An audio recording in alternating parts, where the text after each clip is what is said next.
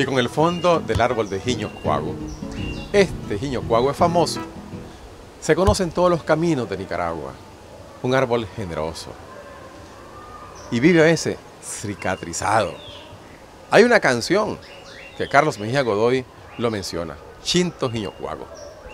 Bueno, con este fondo del árbol Jiño Cuago he venido a la comunidad de San Francisco. Aquí vive Pedro Quirós.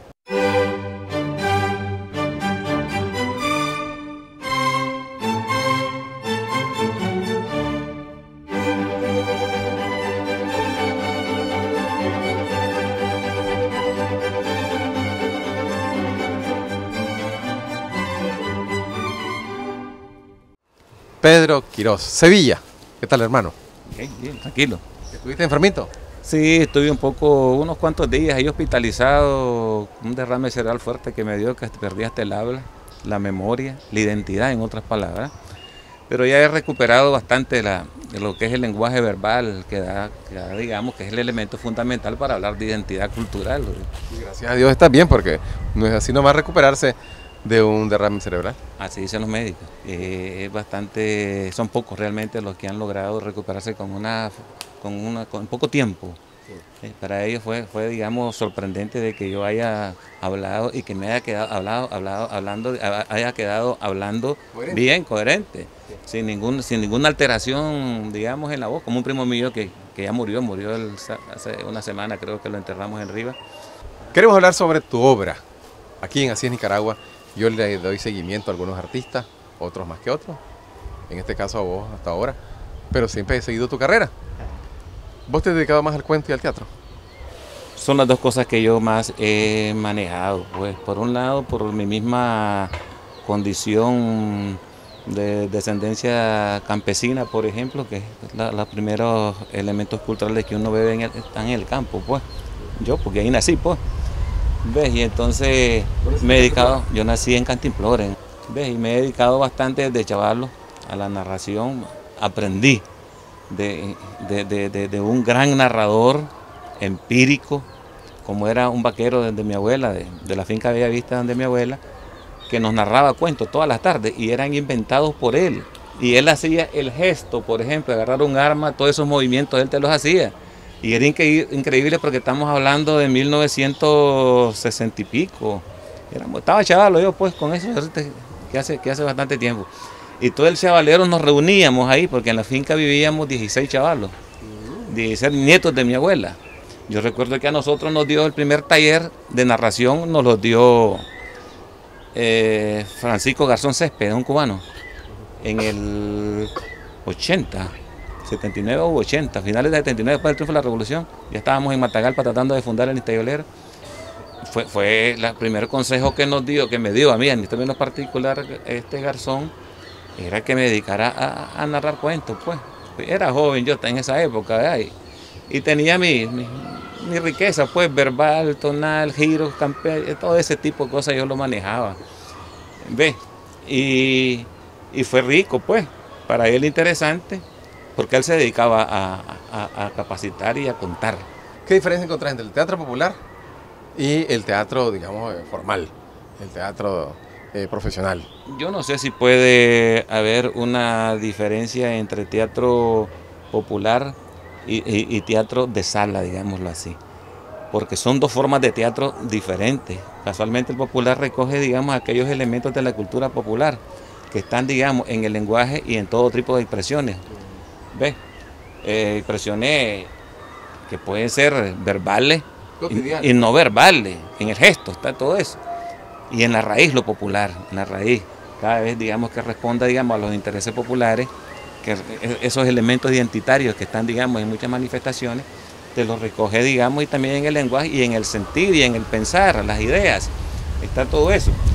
¿Ves? Y otro tipo de teatro que también expresan elementos de identidad, porque no podemos decir, por ejemplo, que una obra, por muy, por muy selecto que sea su lenguaje, pues la obra de Darío, por ejemplo, no se puede hablar que, que esté fuera de identidad simplemente porque responde, porque responde a otro tipo de temáticas que están fuera de lo nacional, si vos querés, pues algunas, o la mayoría están fuera de lo nacional, pues estamos hablando de reyes, de, de cosas así, Y aquí no, pues. Y de teatro a veces que son un poquito inverosímiles. Eh, por ejemplo, el, teatro que yo he conocido con la Comedia Nacional, con la Sinfonía Burguesa, es un teatro inverosímil para mí. Este, esa es una de las obras más interesantes que tiene, digamos, eh, la teatrología nacional, la historia del teatro nicaragüense. Eh, rompe con todo tipo de lenguaje